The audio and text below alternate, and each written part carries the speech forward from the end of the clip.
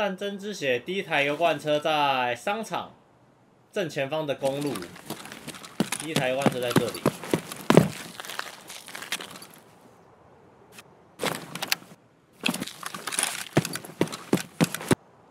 第二台油罐车在立交发电厂旁警卫室这里进来，这就是第二台油罐车。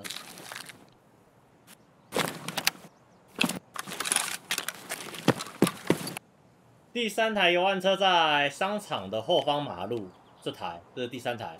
假如真的不知道，就是发第二台发电厂这里的马路走过来。